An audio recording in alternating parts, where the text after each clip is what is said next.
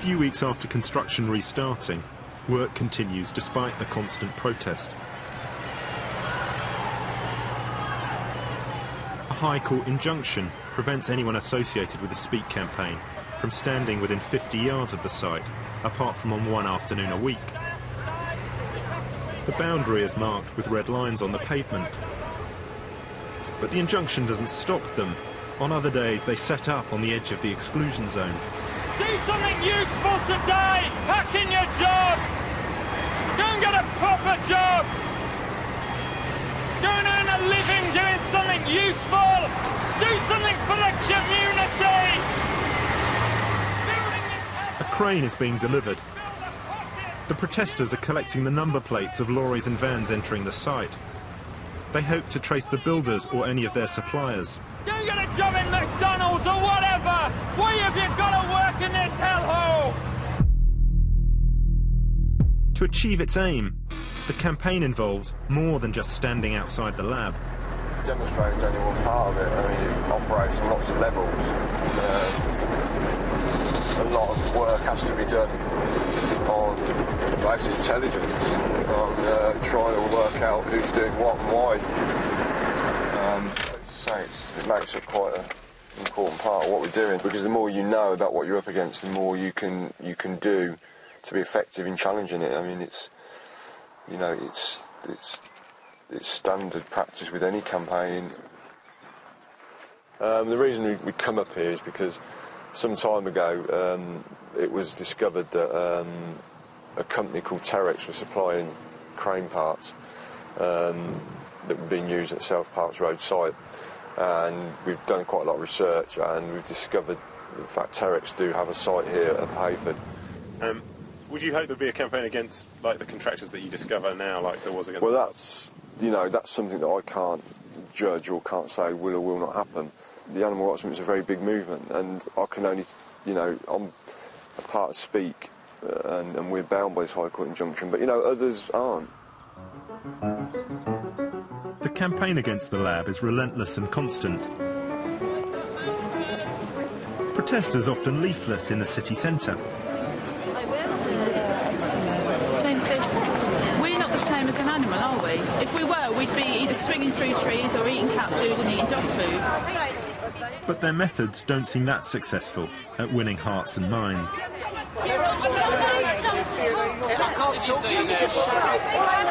just shout. For one onlooker, the barrage has made a real impression. Well, I was sitting in a coffee shop and I heard uh, Stop the Oxford Animal Lab. I decided to go out and um, shout my own slogan, Build the Oxford Animal Lab. They turned around and uh, started shouting F off and uh, so forth, and uh, torture, I believe I was called. And, uh, oh yes, human excrement. And I decided that wasn't on.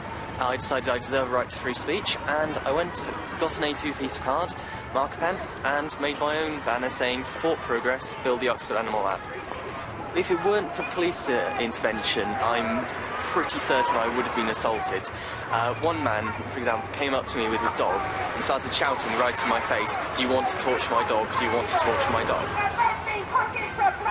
One of them actually tried to grab my sign. I resisted um, and said, No, don't, please don't take my sign.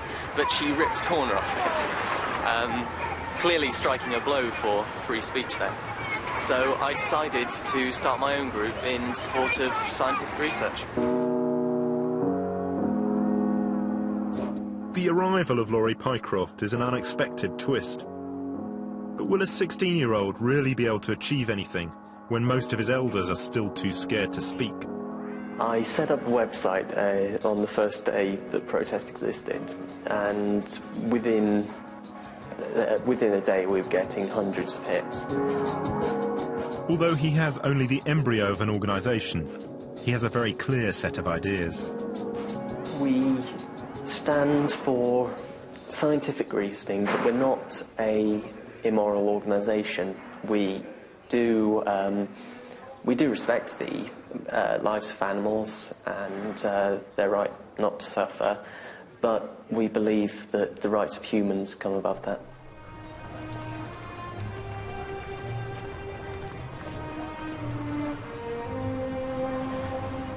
The struggle over the Oxford lab heats up. This city has had a unique place in the war between scientists and animal rights activists. Many of the most famous battles have been fought on these streets. The modern animal rights movement actually began here 34 years ago. It was then that a group of radical vegans first challenged the idea that man should have dominion over animals. Chief among them was a young philosophy lecturer called Peter Singer. In Oxford in 1972, he invented the phrase animal liberation and wrote a book of the same name, which was based on one overriding principle.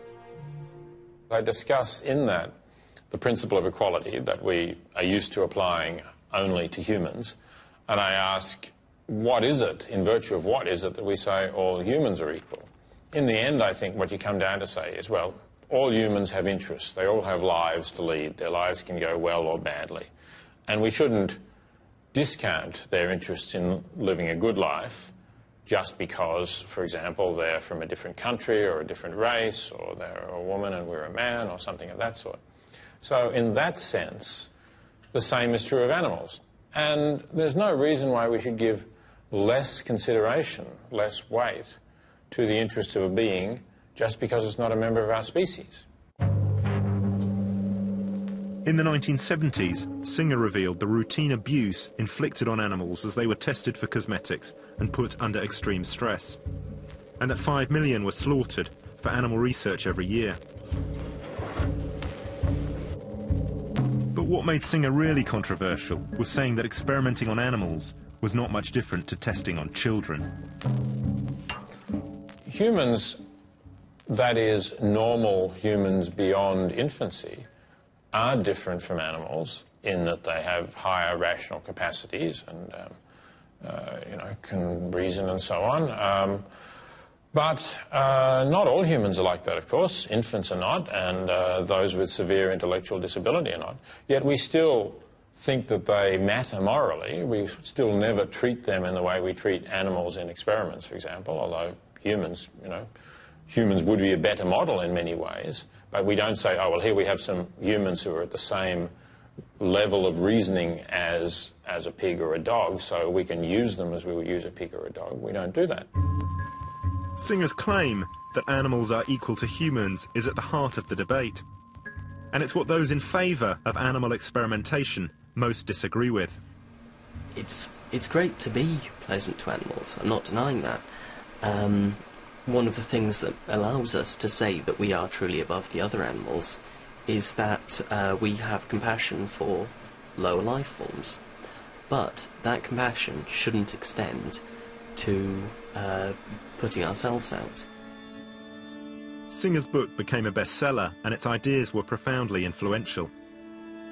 In the last 30 years, there have been many changes to how scientists use animals. The number of animals used in experiments has almost halved. Research is no longer allowed on chimpanzees or higher apes, or for cosmetics. And now to get a license to carry out research involves demonstrating that the harm to animals is worth the potential benefit to patients. So 30 years after Singer wrote his book, what's an animal experiment like today? Carolyn Lacey is a neuroscientist at Oxford University. Like Tipu Aziz, she studies the part of the brain that goes wrong in movement disorders. She uses rats. He's got nice fur. So nice and sleek. And his eyes are not watery, so that means they're not infected. So we're just going to pick him up if he wants to come. There you go. And put him in this cage to be transported. Because he is very happy still. Not scared. Are you going to name him? What do you want to be named? Philip? Do you name each of your rats, Carolyn? Um, yeah, I do, but most people don't. And I why do you name them? I quite like to have a friendship with my rats because I, I think of them not as a number, but um, as my friends because they're helping me discover things that can help medical research. And if I was going to be part of a medical research experiment, I wouldn't want a number. I'd want to be talked to with my name.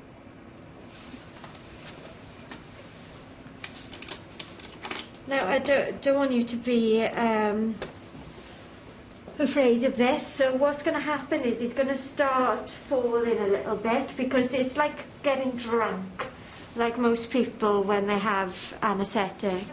You can see he's, he's trying to figure out where he is, and now the anaesthetic is setting in a little bit, so he's uh, wobbling. Now this isn't hurting him in any way. He's just feeling a bit drunk, a bit woozy, and soon he'll fall asleep.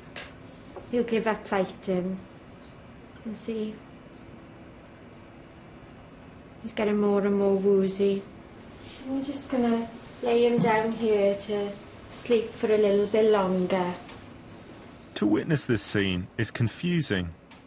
Fast asleep in Carolyn's lab, Philip looks almost cute, but I'll have no qualms about killing a rat if it appeared in my kitchen. When the animal rights activists call people like, you know, they call you, they call people like you torturers. Yeah. And how do you feel when they call you torturers? Um, I'm just amazed by it because they have they have absolute no knowledge really of what really goes on in the animal houses, and uh, you can see here from what I've done that we're not torturing the rats. None of us are animal torturers in the way that any of us would want to hurt the rats. I mean, if I was hurting a rat, I wouldn't be happy at all. In fact, I'd stop because I don't want to hurt my rats. They're here to help me, and I don't want to give them any pain. So now we're just bringing him into the surgery room, and we're going to put him, place him just on this blanket, which is temperature controlled.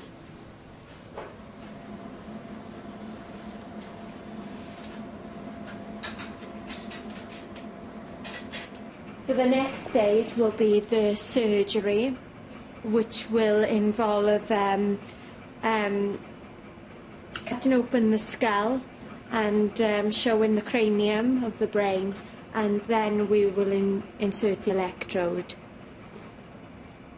Although it seems that the animal is being treated kindly and it's suffering no pain, never far away is the thought that he's about to have his head opened up and an electrode inserted into his brain.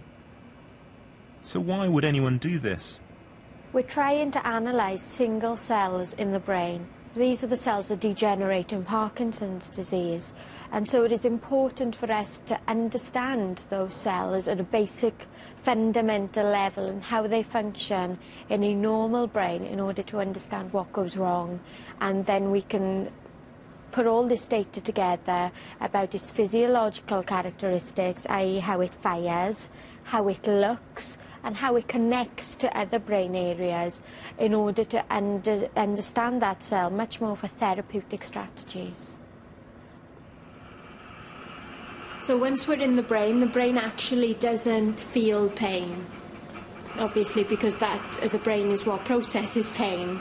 So uh, the actual brain itself doesn't feel pain. So once we're in the brain with the electrode, the, the, the rat won't be able to feel it, even if he was awake. Seeing a rat with a wire in its head seems a long way from benefiting human patients. But for hundreds of years, it's basic experiments like this that have given doctors the foundation on which to build new therapies. It's at this stage that all medical advances are made.